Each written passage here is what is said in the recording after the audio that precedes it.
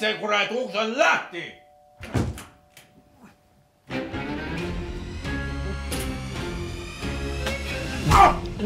sa üldse ei näe enam, kuhu sa astud või? no sa ei kuule üldse uksekella või? väga hästi kuulen. no mis sa avama ei tulnud siis? ma mõtlesin, et sinuga on midagi juhtunud, lusika nurka visad, ma pidin tulema vaatama, kuigi natuke kartsin ka, sest tead ausalt öeldes sul on hais on siin selline, et see oleks nagu juba ammu käinud. tee kuu peale. sa ei tunne kakskümmend aastat enam mingit haisu. mul on üks väike tööõnnetus. jah, töö on. kukkusid või? miks sa seda kätt selja taga peidad? ma tahtsin enne minekut selle purgi tühjaks süüa.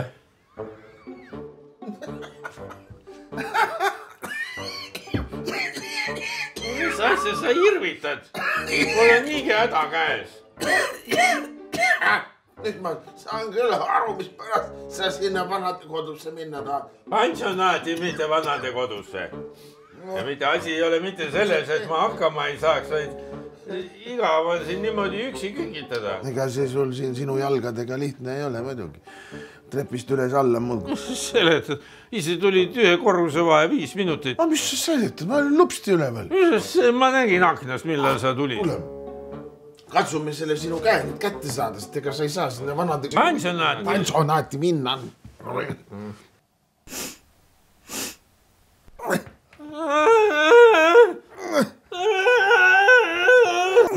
kuule, su käsi on täitsa turses peab natuke jahtuma. istume, ootame, pärast proovime uuesti. niimoodi käsi purgis. võtame väikse reispassi siis enne teele minekut vähemalt. jah, see sinu lahkumine, see on nagu mingi Tšehhovi näidendus. kus see on Vin sul see? siinsamas noh. Häh? sa lähed siinsamas Ah. külm, külmkapis. oled sa kindel, et sa tahad siit kodust ikka sinna pansionaati minna või? pärast jälle lahkumist eh, üksindus tahab ära tappa. Sul on ju need toredad naabrid siin ju, kuule, mis see oli see? Kalev ja, ja, ja see suur see maailmamaa see noh, Paul ja, ja, ja mis see selle nimi, see ilma hammasteta mees oli, kes see? Ralf, Ralf, noh, nad on nii igavad ja jonnivad ja, ja see eh, Ralf on ju kõigele lisaks surnud. Nad on kümme korda juba minu lugusid kuulnud. nii et seal äh, vanadekod või seal pensionär. pansionaadis sa leiaksid endale nagu uue publiku jah? muidugi, ma olen hea jutulind. muuseas, tead sa, mis lugu sa neile seal esimesena jutustama peaksid või? jah, mis lugu? selle korteri lugu.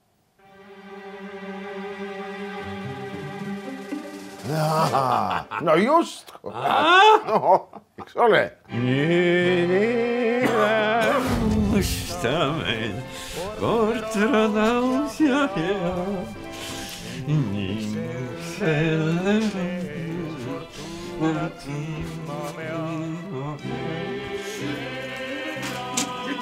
villide elu. Ilus naine, kõigi mugavustega korter Mustamäel, soe vesi tuleb kraanist, mis sa ikka lihkad. tore, et sulle ikka meeldib. ma ei saa aru, kuidas su mees ei oska kõike seda hinnata. ma ei tea, mis ta mõtleb mul. kuule, me ei taha temast üldse praegu rääkida. meil on veel praegu kolm tundi on aega. oleks mul selline naine, ma ei vaataks teiste naiste poolegi, mis asja, ma ei läheks siit korterist üldse väljagi. tule siia siis, minu lõvike. kohe mu saatuslik taltsutaja.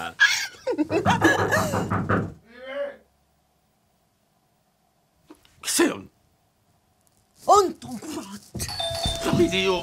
no pidi, pidi, aga vot nüüd on nii. ma ruttu kukku ennast. jaa, kallis, hakkan valmis minema, kohe tulen.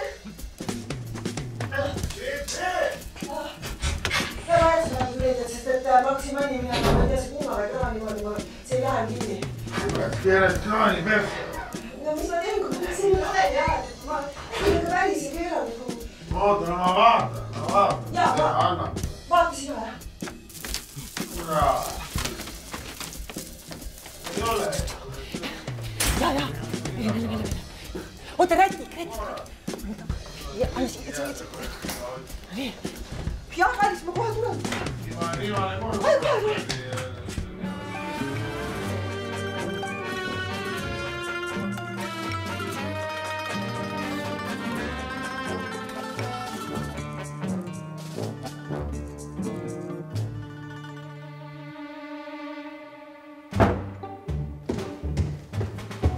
kallikene, ma olen kodus.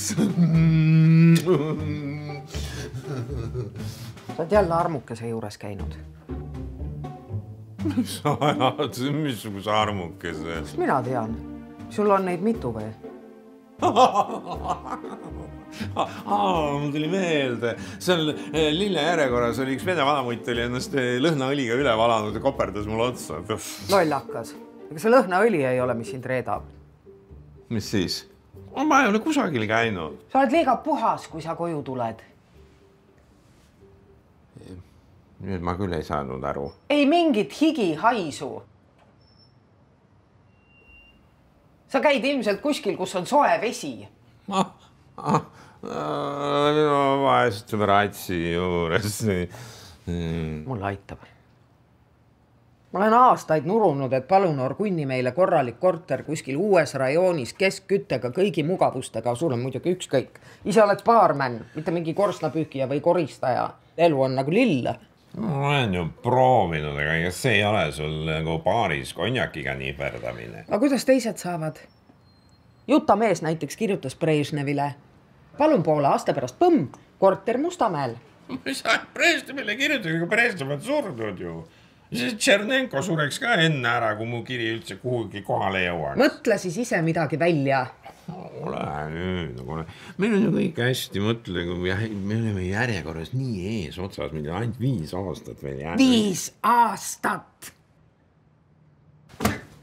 viis aastat. tead, mulle aitab. ma otsin endale mehe, kellel on normaalne korter. ja sina mine otsi endale armuke, kes su päriselt endale võtaks. Ma annan lahutuse sisse.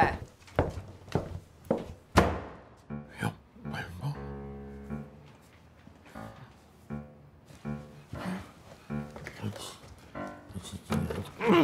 väga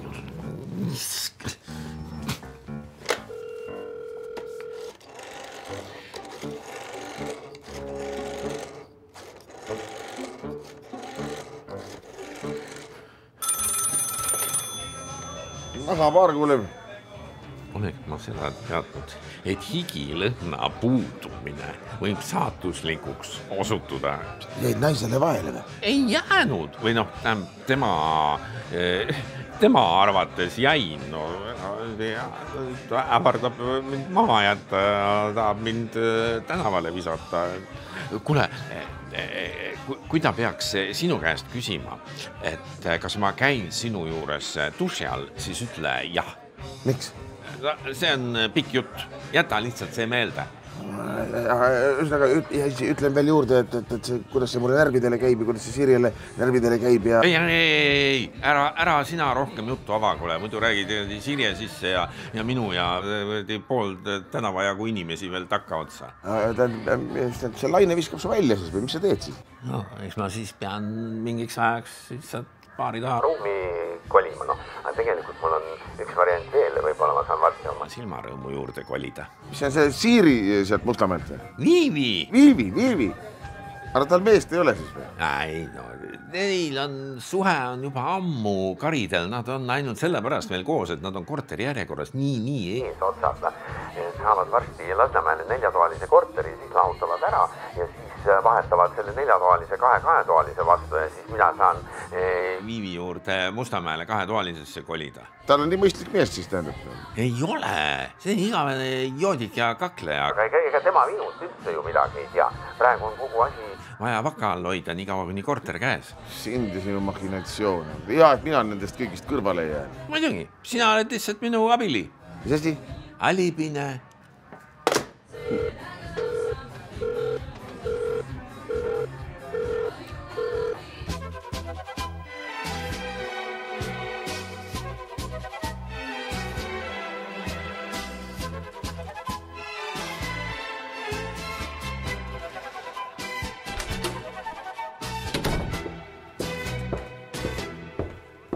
lõvitantsutaja. lõvi saabus nii ruttu kui sai. milles küsimus? mul on kaks uudist. üks on hea, üks on halb. ei tahaks nagu peitust hakata jälle mängima siin. ei, Anton ei tule täna. parem oleks. mis uudised on? alusta heast. meile eraldatakse nüüd see korter, see neljakas sinna Lasnakale. see on ju suurepärane uudis. see on ju väga hea uudis. halb uudis on ju ka. Kuradi naaber.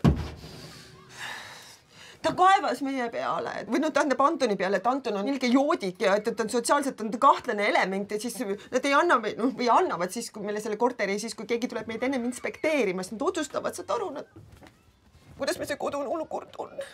no kas Anton ei saa siis ühte päeva ka kaine olla, ta ju ise tahab ka seda korterit saada. tahab jah, aga Anton on kadunud. Mis mõttes?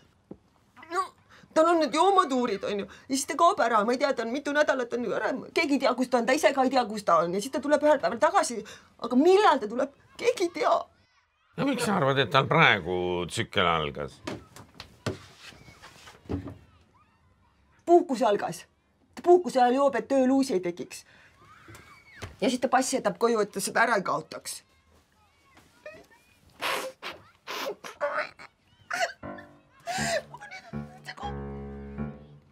See on sinu mees. minu mees on jah, kes ei näinud siis. aa, sa ei näinud ju. Penmo. see on sinu mees. jah, mis lahti on? no just nimelt ongi lahti.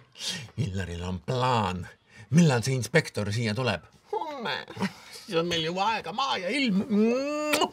kõik ei ole kadunud veel.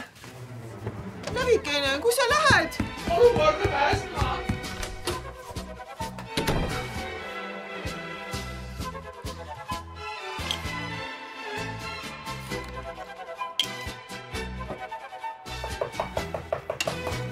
jah. No mis nüüd keset päeva? mulle tehti tööpakkumine, mis muudab meie elu. loodetavasti paremaks. muidugi, kullakene. kui see ei ole midagi seadusevastast ja päästab sind sellest baariurkast, mina olen poolt. ainult, et see ei ole päris kindel veel. no mis sa siis kaagutad ma tahtsin, praegu? et me lihtsalt ühes paadis oleksime. olgu, olgu. mis pakkumine see on selline? Kännu kukesabane baarmani koht. lausa kukesamm sinu karjääris. sa, kas, miks? ühest baarist teise. Kännu kukk pole mingisugune baar, see on restoran. baarmenid raiuks endale käe otsast ära, et sinna tööle saada. aga see on Mustamäel, see on linna teises otsas. aasta pärast on meil auto olemas juba, kui ma sinna tööle saan. aga äh, miks sina, miks mitte Illar sellepärast, et seal Kännu kukk ja Riksi on Illeriga mingi kana kitkuda, no sellepärast mina. mm? -hmm. aga kuidas sa Illarile seda seletad? Ja no see on jah, see on jah, see ongi kõige suurem probleem. Illar nii minu vastu hea olnud no.. miks sa siis kindel ei ole? sellepärast, et seal Kännu kukk ja üks baarmen on, eks ole, viinaravil praegu ja räägitakse, et ta vist sealt tagasi ei tule. no ja, nii et, nii et ametlik öö, otsus, see võtab aega lihtsalt. see on küll tore. võtad tema töö üle ja pärast lähed sama teed. või kuule nüüd noh, kõige tähtsam on see, et sa saad Illarist lahti, vot see viimane argument , see on nüüd küll päris veenev . ainult et Illarile mitte ühtegi sõna , eks ole .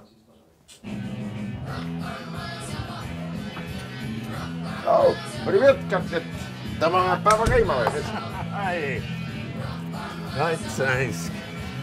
ma pean , ma pean tunnistama , et sa oled mul ikka väga hea sõber ja kamraad . palju sa laenata tahad nüüd siis ? ära nüüd solva , mul on sulle lihtsalt üks jutt . mis jutt sul on? see on üks jutt, mis on jutt. vaata istet.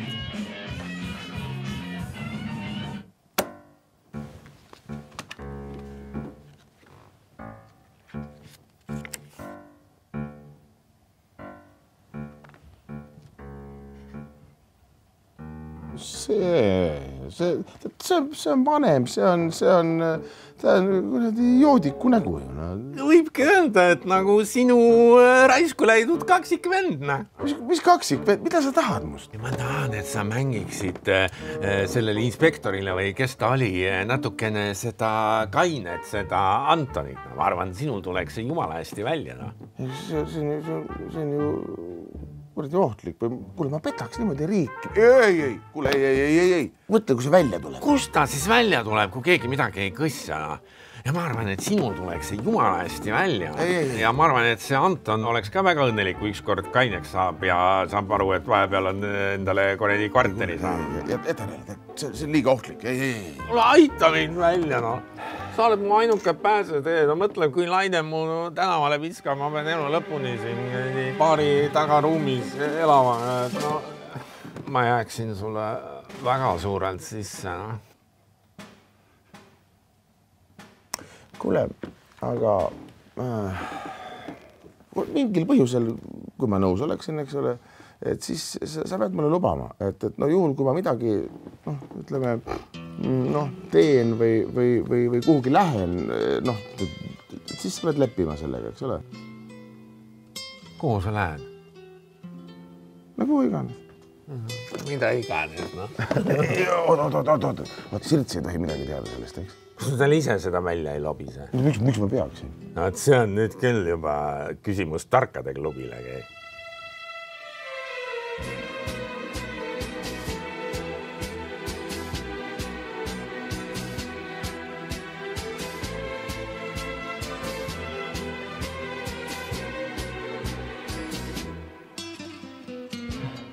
Antonile tumedam vuntš natuke mm, -hmm. nii, väga hästi ja siis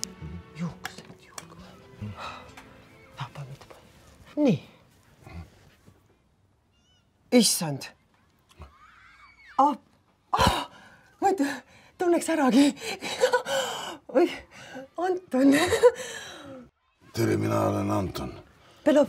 mina, minu nimi on Anton Belov. miks aktsendiga räägid? no ma mõtlesin vene nimi, nimi. ai, pole vaja. ei ole, ei ole, ei ole. ei, ta on eestlane, jaa. ja, nii, nii meil on tund aega, on meil praegu aega, me saame kõik ilusasti jõuame läbi võtta tähtsamad asjad. nii, ta on gaasikivitäja. gaasiga? Oot, oot, oot, oot, oot, oot, mis on, mis on, mis on vahe gaasikeevitusel ja tavalisel keevitusel?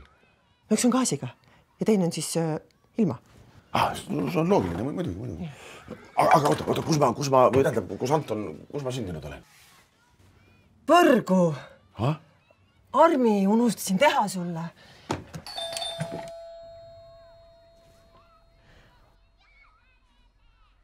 issand, juba või? Ah, ei, ei, ei, sõbranna, sõbranna, ta ütles, et tuleb koolutaja ära, onju, ma tulen kohe tagasi, oota siin. oi, tere. tere, mina olen Milvi Praks majavalitsusest selle korteri asjus ja nii vara. kas sobib? oodake üks hetk, kohe tulen.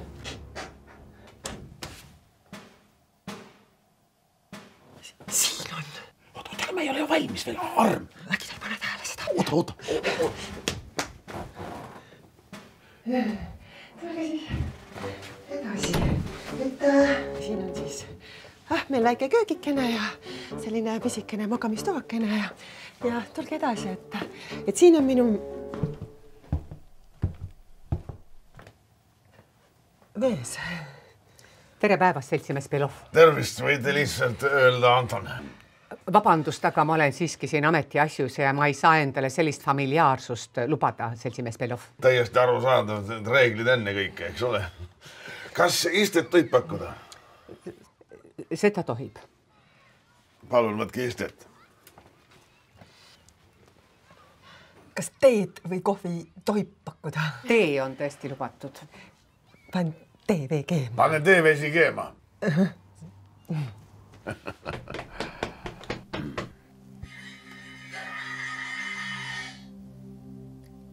mis teil näoga juhtus? vana arm läks mädanema ja pigistasin mäda välja ja Need, need on mädaga korras, need ei ole mäda enam. pildil on see arm teise silma all teil.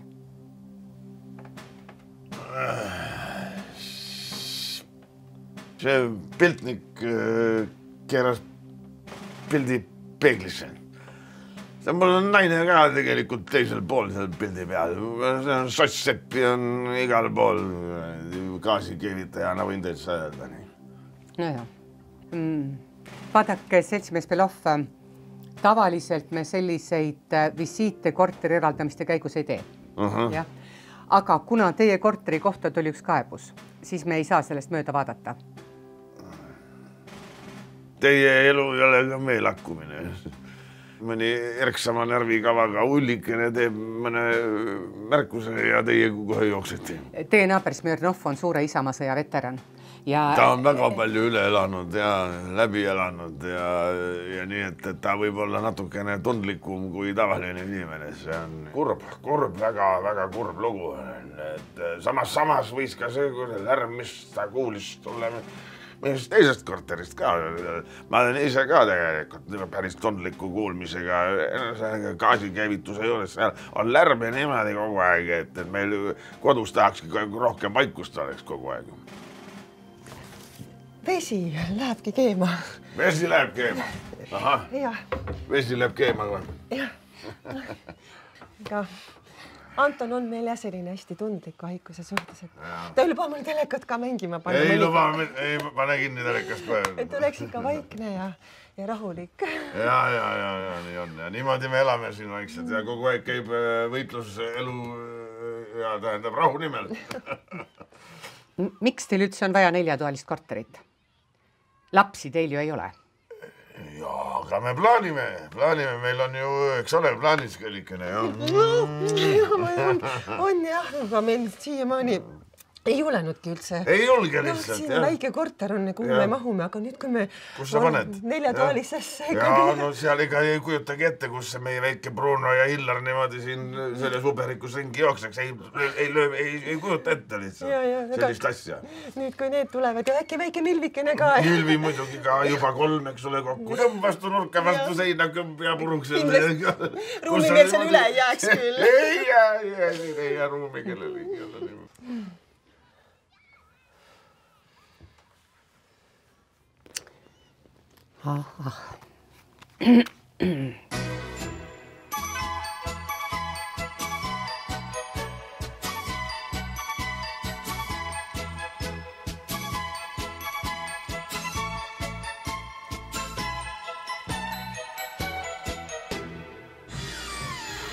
No privet, Katlen. no privet.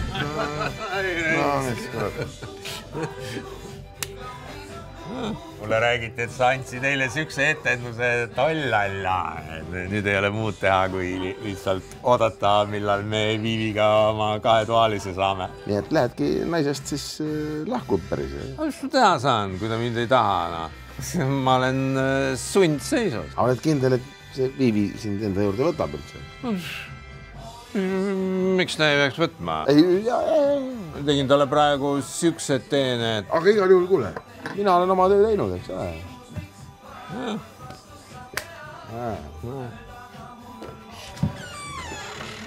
issand, Ellar, issand, kuidas sa siin oled?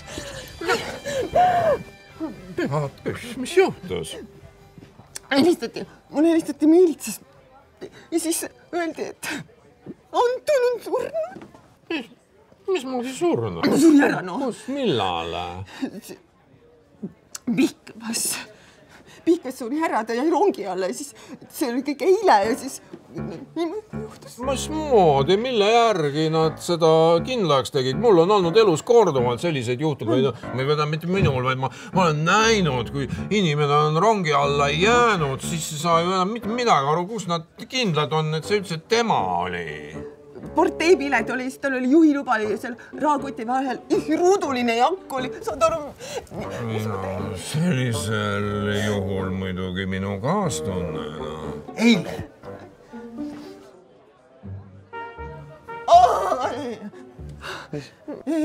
vabandust, ma, ega ma ehmatada ei tahtnud, aga tähendab, sellest mingit jama nüüd ei tule, et Anton äh, Mustamäel äh, rajoonikomitee töötajaga kohtus või?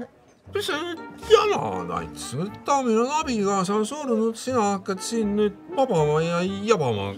taktitunnet üldse ei ole või? aga kui nad hakkavad ikkagi jälle uurima, noh, et minul igal juhul tekiks küsimus, et kuidas sai purukaine, tore Anton olla Mustamäel ja siis natukese aja pärast Pihkvas äh, täiesti täis peaga äh, rongi alla oh mida nad teada võivad saada, kui me äh, kõik oma suud äh, kinni hoiame. no võib-olla inimene hakkas korterit tähistama, kaotas kontrolli. rahu, rahu, rahu, rahu, rahu, rahu, rahu, võtame väikese napsi, eks ole. juures Elkara, ma ei saa lihtsalt sind vaadata praegu, sa oled nagu Anton ja see kõik on lihtsalt nii ebareaalne.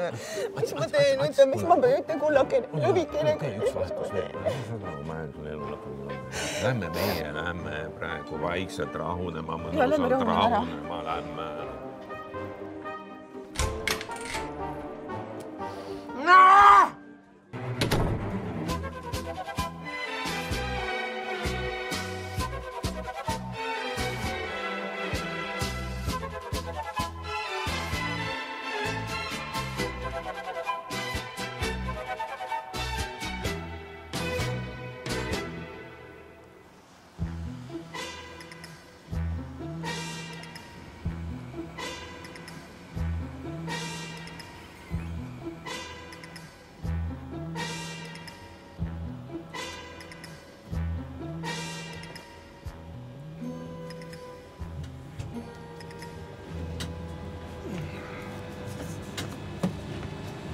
Pidime kokku saama?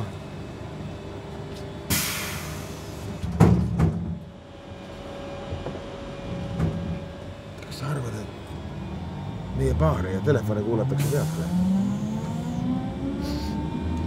no ma pean võib-olla varsti üldse seal baaris elama hakkama, siis. äh, miks? ja meil Viiviga on meil sihuke kuradi suhete jahenemine praegu toimunud, nad on hakanud oma surnud meest taga igatsema, seda, keda ta varem nii vihkas, kui sina ei oleks Antonit nii meeldivalt kehastanud, siis ta poleks no, tema peale üldse mõelnud. see oligi minu ülesanne olla meeldiv ju. aga sa olid liiga meeldiv, kehastasid teda niimoodi, et nüüd, kui ta Antoni pilti vaatab, siis ta mõtleb kogu aeg ainult sinu peale. sa lõid mul naise üle. ma ei löönud sult mingit naist mis juttu sa ajad? See oli puhas tema enda initsiatiiv.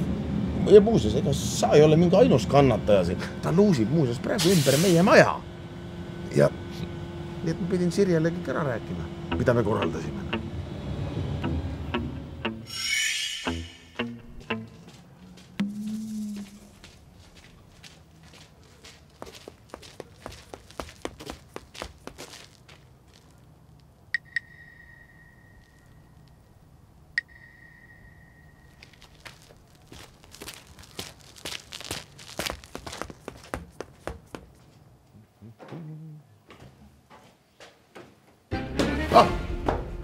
Issand armasta.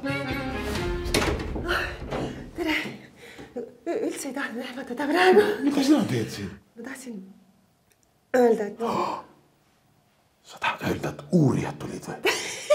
uurijad tahtsin lihtsalt öelda aitäh. sa oled nii viisakas.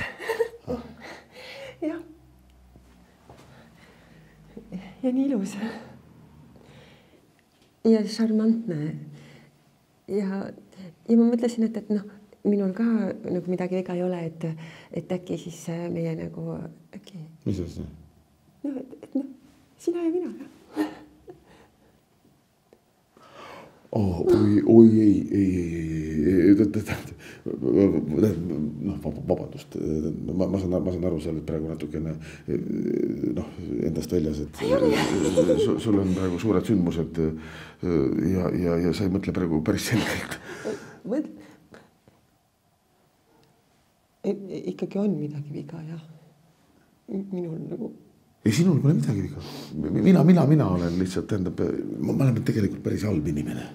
noh, selles mõttes, et see, see Anton, keda sa nägid seal, kes ametnikuga rääkis, seda ma, ma ju mängisin, noh, seda, seda head inimest, et tegelikult, tegelikult ma olen päris tõbras.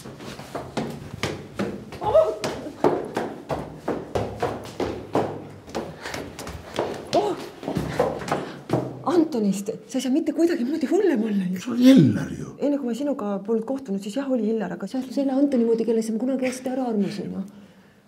ma olen abielus ju. ma tean. aga ühte asja sa ei tea, ma olen haige. praegu on hästi, aga, aga see on, kohe läheb hullemaks. mis haigus? mul on Parker Johnsoni sündroom. see tähendab, noh, see hull värk ma ei ole kuulnud ka. keegi pole kuulnud sellest, see, see on selline asi, et, et eh, noh, praegu on väga hästi, nagu sa näed, eks ole, aga, aga siis noh, natuke aja pärast tähendab noh, või peab mind nagu põetama, ma ei, ma ei saa ise enam millegagi hakkama, no paar-kolm aastat siis krõska. tähendab, kuule, sa ei taha mind ju põetama hakata, sa oled noor inimene, eks ole ju, sul elu ees. mul on kahju.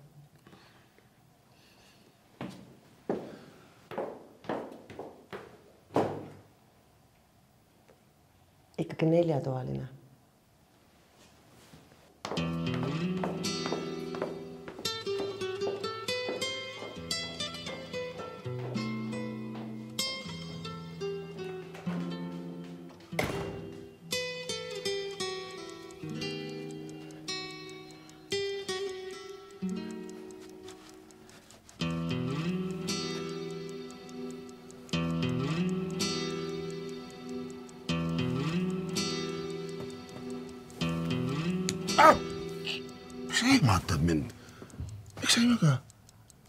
Sind ootasin. kui ma täna töölt koju tulin mm., siis üks naine luusis ümber meie maja. ma küsisin, mis ta soovib. ta ütles, otsin Atshaavikut. mis, mis naine, mil-, milline naine? kilomeetri pikk, juuksed roostes, pilk kiimane. oh, oh, siis ma, ma arvan, see oli see Lilleri armuke. miks ta siis sinu kohta küsis ta, ta, ta võib-olla arvas, et, et ma, ma, ma tean, kus Illar on mm.. Mina ütlesin, et mina olen sinu naine, et sind ei ole. aga tema luusis ikka ümber meie maja, ma aknast nägin. eksis ära võib-olla noh, ma ka siin majade rägastikus teinekord. ots! mis on, mis on, mis on Kurat, küll! mis, mis nüüd on? kas ta on sinu armuke? kuule, ma räägin sulle kõik ära. no vot, nüüd tunnistasid üles, et ikkagi oledki süüdi. mis ma teha saan sinna, kui ma olen meeldiv? kõik on tuksis. Ma panin kõik kogu panuse Viivi ja selle kahetoalise korteri peale, nüüd ma jään kõigest ilma, paari elama kolima. no aga äkki sa saad ikkagi oma naise juurde veel tagasi minna, no sa ju natukene ikkagi armastad teda veel ju, noh, veidi, veidi ikka ju. ta ütles, et ilma kõigi mugavustega korterita ei ole ma mitte midagi väärt. oota, oota, oota, mul on plaan. mis plaan? Me peame kasutama tutvusi.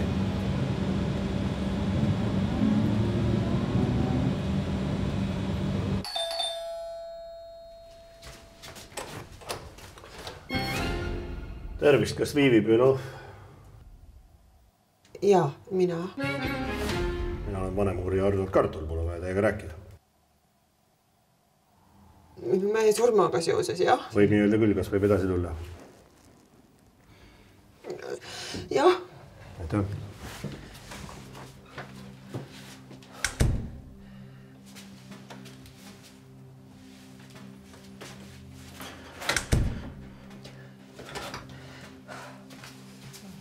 astuge siia edasi, et, et siiapoole, et mul on seal küll äh, pakkimine on pooleli, ma hakkan kolima praegu.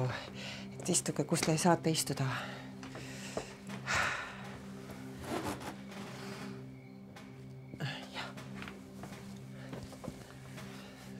vaadake, seltsimees Belov, seoses teie mehe surmaajaga on ilmnenud teatavad asjaolud, mis vajavad selgitamist. koostöös oma Pihkva kolleegidega sündmuskäiku rekonstrueerides saime teada, et teie mees hukkus rongiõnnetuses Pihkva oblastis teisipäeval, kahekümne kolmandal. siis rutiinse töö käigus äkki avanes, et teie mees pidi samal ajal olema ka siin korteris ning vestles rajoonikomitee töötaja Milvi Praksiga. me, me ei saa aru, kuidas see võimalik on. täiesti kaine mees kolme tunni jooksul joob ennast purju, siis jõuab Pihkva oblastisse ja jääb rongi alla. ja me, sa, ma ei saa ka aru sellest, ta, ta oli siin siis, kui me noh, seda korteri asja, siis ta läks sõpradega, ta läks seda tähistama. Ja, ja no ja kui ta sõpradega tähistab, no ta teeb seda mitu päeva tavaliselt, aga ma ei hakkagi, ma tavaliselt ma ei hakka üldse muretsemagi, et, et kus ta on või mis ta teeb, et ja, ja siis Pihkva oblastis. Ma ei tea, siin peab olema mingi eksitus, siin ei saa olla väga võimalik, et keegi eksis. aga võib-olla ei eksinud ka. seltsimees Belov, tegelikult on üks variant, et teie mehe surm oli õnnetusjuhtum. aga sellisel juhul me peaksime hakkama uurima seda korteritehingut siin.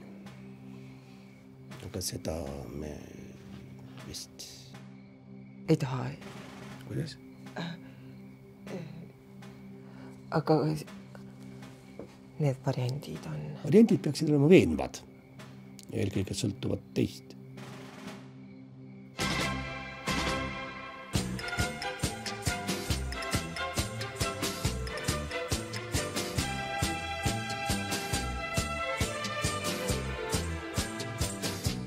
ma olen ikka üks kuradi hea inimene. kuidas sa seda tegid? see Illari armuke, see sai korteri eh, sohiga ja siis ta kartis muidugi, eks ole, et see tuleb välja, sohk tuleb välja. ja, ja siis ma leidsin ühe tuttava vana miilitsa, eks ole, kes saatsin selle talle ukse taha. see hirmutas vaesekese niimoodi ära, et, et ta oli valmis kõigeks. no mitte selles mõttes, eks ole. ühesõnaga nüüd see armuke vahetab oma neljatoalise kahe kahetoalise vastu, ühte kolib ise ja teise kolib Illar oma naisega. Mustamäe kahetoalisse kõigi mugavustega korterisse. aga Illari vanalinna korter, mis sellest saab? see läks miilitsale, sellele samale miilitsale, nii et kõik on rahul. ja sina? Mis mina? no et mida sina selle eest saad?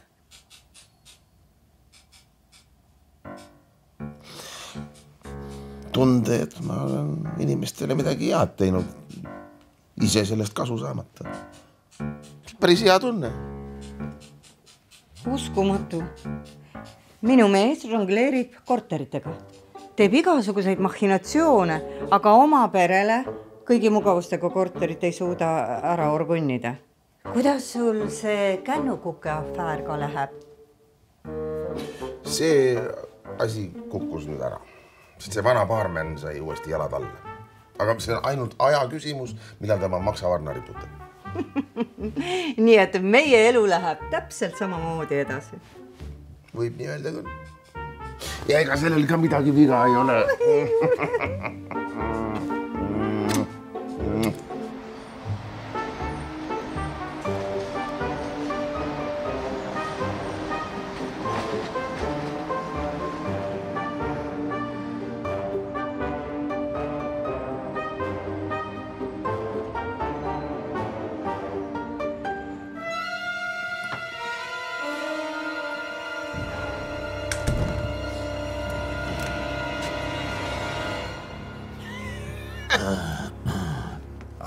Pepsi.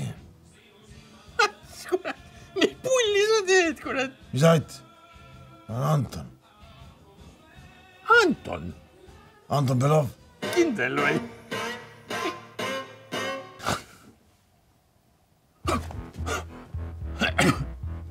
mis juhtus? sain särtsu. see, see, see Mistra, need kummitallad, nagu alatihti saan särtsu. Anton. kas me oleme kohtunud? peaaegu, ei, ei, te peaaegu tuletasite mulle kedagi teist meelde. ma olen hakanud isegi kahtlema, kes ma olen või, või kas ma olen, kus ma olen. no praegu olete minu paaris. kuidas te üldse siia sattusite? janu on no..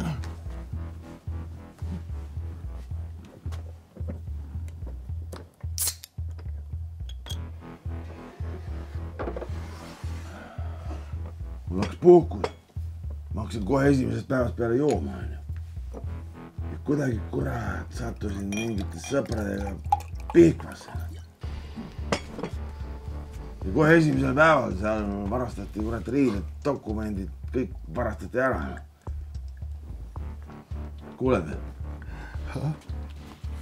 siis ma sain kuidagi siit Tallinnasse tagasi. Läksin koju enda arvates. kuuled jah? korteris elavad täiesti võõrad inimesed. Läksin majavalitsusse asja uurima, mis toimub. ja sealt sain teada, et ma olen surnud üldse. see tüüp, kes mind paljaks varastas, see oli rongi alla jäänud. Dokumentide järgi identifitseeriti, nägu oli sodiga ja siis seal majavalitsuses sain teada, et mu naisele oli eraldatud neljatoaline korter ja ta oli vahetanud selle kahe kahetoalise vastu, sellepärast et noh, ma olen surnud, eks ole. no ja nüüd naine, ma ei tea, kuidas ma nüüd lähen ennast talle näitama, kui ta on mind paar päeva tagasi kinnises kirst-, kirstus maha, maha matnud, noh. see, see kõlab juba nagu vi-, filmistsenaarium. mida kauem ma vi-, Viivi ju juurde tagasiminekuga viivitan, seda kindlama on, ma hakkan jooma, noh. mis ma teen? aga kui sa minu nõu tahad kuulda, siis esiteks lähed ostad sületäie roose. teiseks lähed nende roosidega ta ukse taha täiesti kainelt ja kolmandaks jääd elu lõpuni kaineks. siis ta võtab su tagasi. arvad või? ei arva, vaid tean. seda on passid. mine, tee see trikk ära. see on plaan. seda juttu mul oligi vaja just praegu kuulda. mis mu päästja nimi on? Il-, ilus. Gunnar Ilus. et sul elus hästi läheks.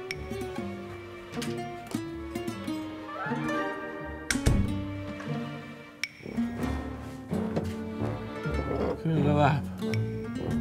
kust ta pääseb? kuule, aga ütle mulle ausalt, et mitu korda sa oled selle peale mõelnud, et kurat, pidin ma sellest Viru tänava korterist välja kolima, millise papi ma oleks sellest pärast erastamist saanud? iga jumala päev sellel sajandil. aga enne seda olid meil ikka ju väga ilusad ajad. Ma pean sulle ühe asja üles tunnistama. no mingit kännukuke pakkumist tegelikult ei olnud. mis asja sa nüüd räägid praegu? ma lihtsalt mõtlesin, et ma pean sulle lisamotivatsiooni pakkuma, et sa sellesse afääri sisse kargaksid ja nii see läks, noh. see kõik oli lavastus. sina olid selle taga või? sa tahtsid, tähendab, lihtsalt minus süütunnet tekitada või? süütunde sa tekitasid endas ise. nii, aitab maal minema. no anna andeks, noh. anna andeks, noh.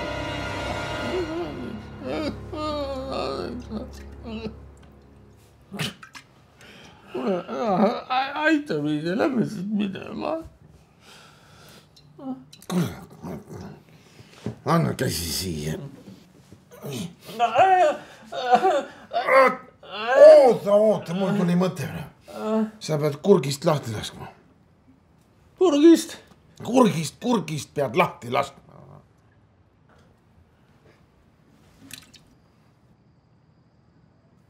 no näeme. Lähme nüüd, mul pansionaat ootab. no, oled sina ikka jah, no tule, tule, tule, tule, tule. tule, tule, tule, tule. noh, selg sirgu pane poiss. noh, lähme. mis sa arvad, kumb meist kauem elab? kiuste elan sinust kauem. kiuste, meelega.